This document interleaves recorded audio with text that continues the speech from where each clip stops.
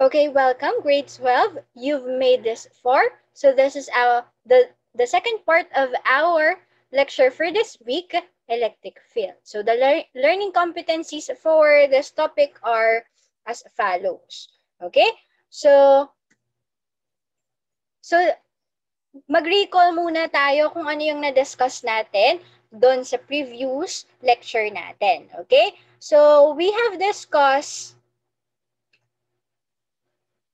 about Coulomb's law. Okay? So the Coulomb's law, ang equation na ginagamit po natin dyan is K, Q1, Q2 over R squared. So K is equals to the uh, Coulomb's law or uh, Coulomb's constant or the proportionality constant which is 8.988 times 10 raised to 9 Newton meter squared over Coulomb squared. Pero ang gagamitin na lang po natin dyan is 9 times 10 raised to 9 Newton meter squared over Coulomb squared. Okay, so force is the unit to be used is newtons. Okay, as well as we also discuss about the law of electrostatic force. So this law states that like charges repel and opposite charges attract. Okay, so the attraction of this it could be uh, mathematically defined doon sa ating Coulomb's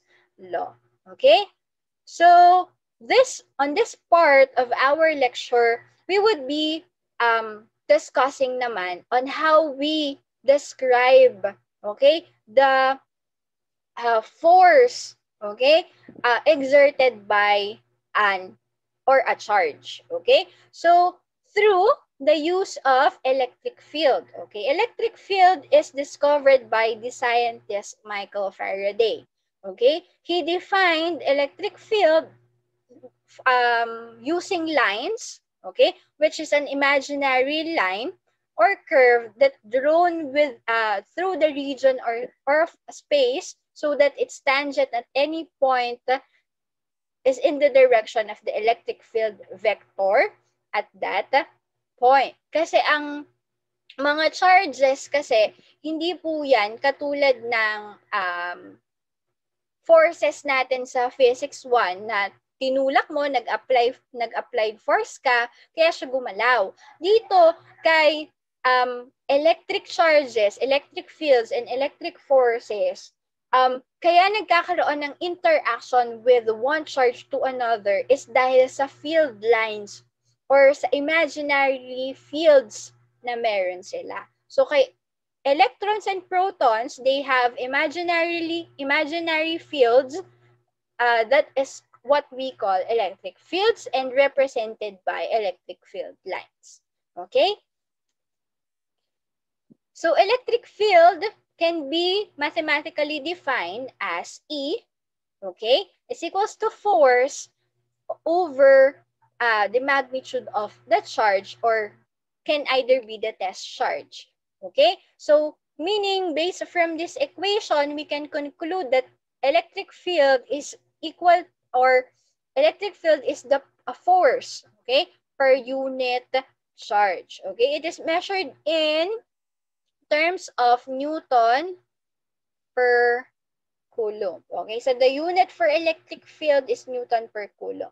Okay, another um, equation for electric field based from Coulomb's law, okay, if we substitute the value of uh, the Coulomb's law to F, our F, it is equals to KQ over um, test charge over point charge or uh, at multiply by test charge and point charge over the distance squared.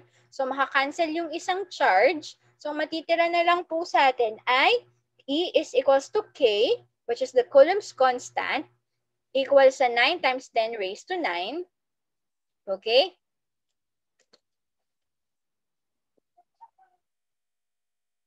Multiply by Q, which is our point charge over R squared. Okay?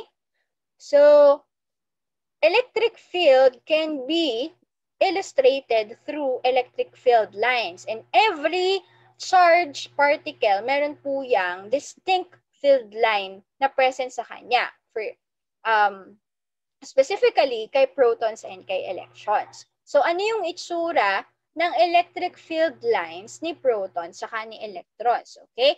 Kapag positive yung charge mo, kapag proton siya, ang field line niya is directed outward. Okay? Directed outward the charge. Okay? Just like this diagram. Kapag negative naman yung charge mo, or kapag isa siyang electron, ang direction ng kanyang field line is towards. Okay? Papunta doon sa charge. So kapag ang dalawang to ay nagkaroon ng interaction, okay, sabi nga natin, unlike or opposite charges attract, so ano yung nangyayari sa field lines nila? So nagiging ganito yung itsura. Okay? So positive, negative, they attract each other. The field lines has combined. Okay? So in this way, or in this diagram, magkakaroon tayo ng electric dipole. So ganito yung itsura ng electric field line kapag meron po tayong dipole. Dipole meaning meron tayong dalawang poles, isang positive, isang negative. Okay, paano naman po pag pareho yung charges nila? So pag pareho yung value ng charge nila or pareho silang positive, pareho silang negative, since according to electrostatic force, like char- charges repel, so nagre-repel din, okay, hindi nagmi-meet yung kanilang mga electric field lines. Okay? So, sa electric field lines, kapag magkaiba ng uh, charge, so nakaka-create po tayo ng electric dipole. So, yung susunod nating i-discuss is yung mga keynotes na um, kailangan nating tandaan in illustrating electric field vectors and electric field lines. Okay? So let's start with this one, the first um, rule. Okay? Field line must be tangent. Okay, so mayroon tayong kailangang tandaan dito. Test charge. Okay?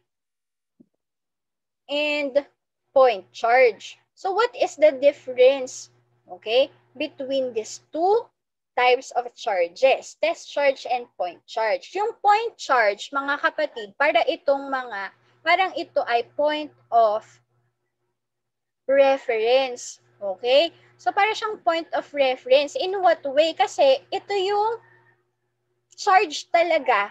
Okay? Ito yung charge talaga na present sa isang atom. For example, this two, this uh, two uh, kinds of charges, a positive charge and negative charge. This is considered as point charge. Kasi sila po ay, okay, makikita natin talaga na present doon sa atom na yon.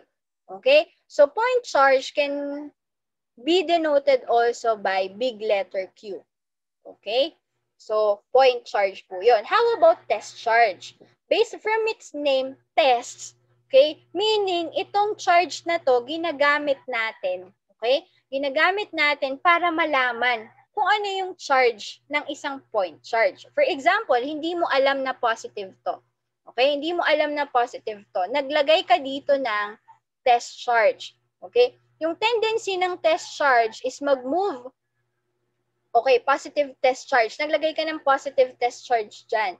Okay, hindi mo alam na positive to. Yung line ng test charge mo, nag-move away, okay, dun sa point charge mo. So, meaning, nag-repel siya. Okay, nag-repel siya doon sa, um, uh, nag-repel siya dito sa point charge mo. So, meaning, malalaman mo, using the test charge, yung value or, or yung kung positive or negative yung point charge mo. Kaya nga po siya tinawag na test charge. Okay? So, ang field line, okay, ang field line ng test charge with respect to a point charge is always tangent. So for example, yan, may meron tayong point charge. So naglagay tayo ng isang test charge.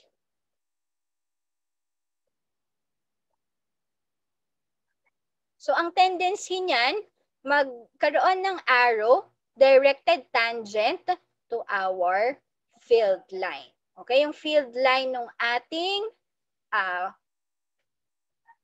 point charge. Okay? So, kailangan pa rin nating i-take into consideration kung siya ay positive or negative. Kasi yung test charge natin, pwede din po yung positive or negative. Okay? Second reminder in field lines, so the greater the line density, the greater the field magnitude. Okay? So dito meron tayong dalawang protons. Yan, meron tayong isang electrons. So kung i-compare natin yung amount or value ng lines na distributed, okay, or nanggagaling dun sa mga charges natin. So paglaki ng line density, okay, pagdami din ng field magnitude. So na-double yung line dito. So that's why yung field magnitude natin, this part, the diameter of this part is much greater, okay, compared to this uh, example. Okay, dito kasi 'di ba tigisa lang yung negative at saka positive. So yung diameter niya ganito lang kalaki.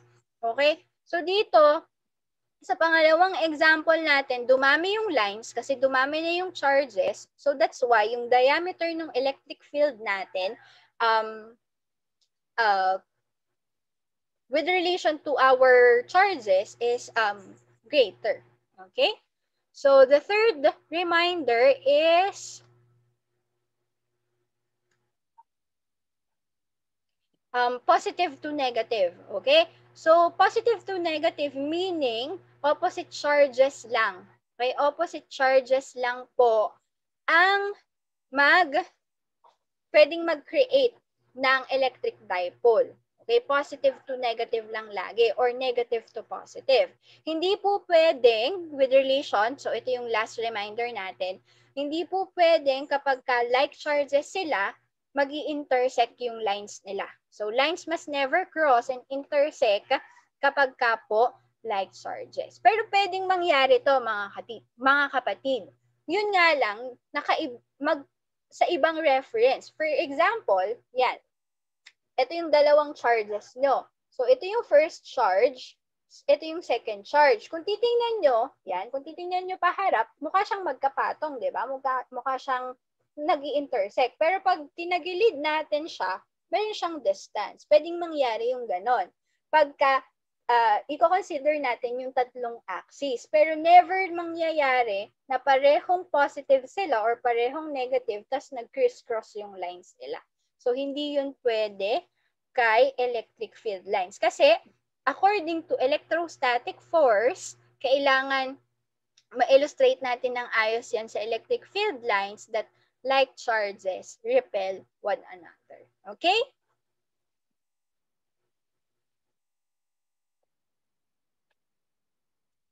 So now, um, we have finished our um, objective, the objective part of our lecture for electro, electric forces and um, electric fields. So um, you can go to your Google Classroom and um, try answering the worksheet or um, and you may tune into our the next part, the last part of our lecture, which is the computational part. So on the next video, magko-compute po tayo ng relationship, mathematical computation ng relationship ng mga charges, um, finding the net electric force and the net electric field. But before that, I want to leave this quote to you, Edison failed 10,000 times before made the electric light. Do not discourage if you fail a few times by Napoleon Hill. Okay? So that would be all for the objective part of our lecture. Kindly tune in for our computational part. Okay? Good. Uh, see you with it too with our next video.